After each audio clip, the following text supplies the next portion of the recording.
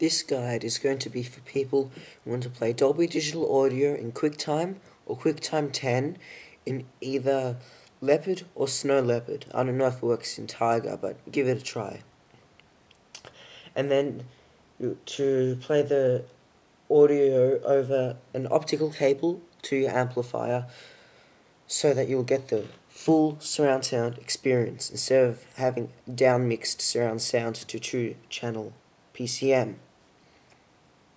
Now first, I'll show you how to find out if a file does have Dolby Digital audio.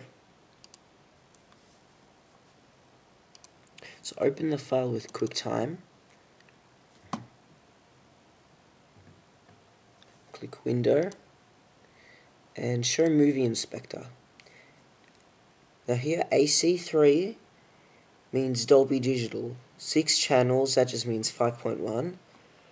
48,000 hertz, that is the sample rate which you'll need to remember for later on. So close the video. Then download Perian and plist Edit Pro. I'll put the links into the, the description of this video. Then open up System Preferences. Click Perian. Make sure this is set to stereo, not multi-channel output. Stereo.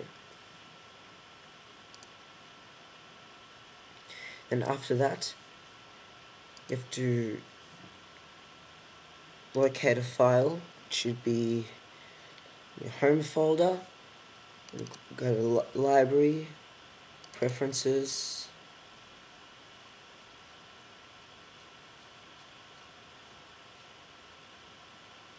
And this one here is the one you want. com.cod3r.a52 codec.plist. So open this with plist edit pro. Click to channel mode. Click new sibling. Here was his new item.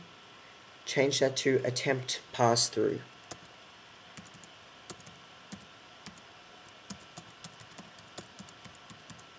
Make sure that the spelling is correct and that this P is capitalized. We want to change the string to number. Change the 0 to a 1 save the changes. And quit.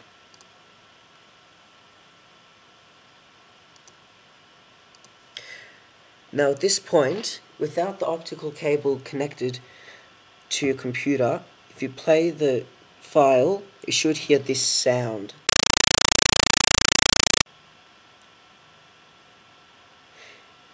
If you hear that sound, that means everything worked so far. And then remember that 48,000 hertz I told you to remember? You're going to have to use that now for here. Go to Applications.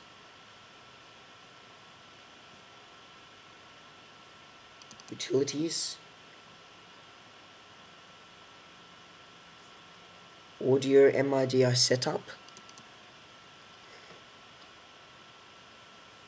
click built-in output and change this 44,100 hertz to, oh yeah but before you do this insert the optical cable to your computer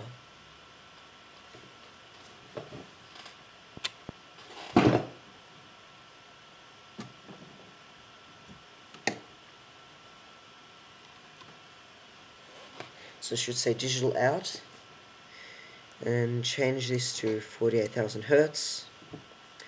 Two channel not encoded digital audio. And then quit.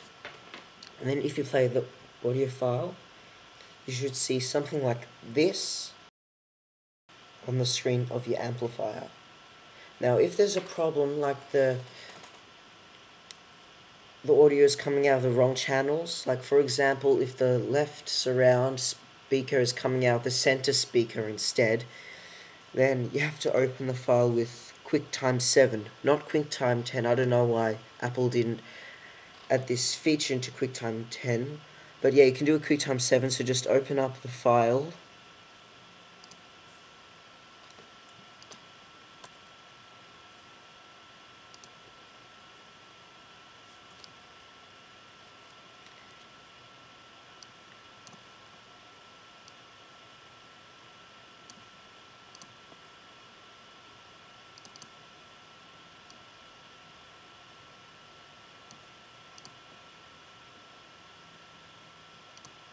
Oh, but for this you'll need QuickTime 7 Pro. You can't use the standard version.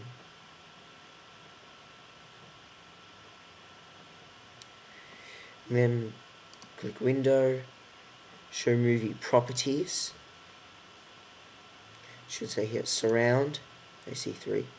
And then click Audio Settings.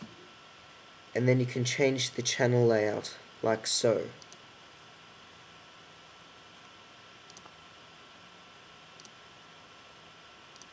For example.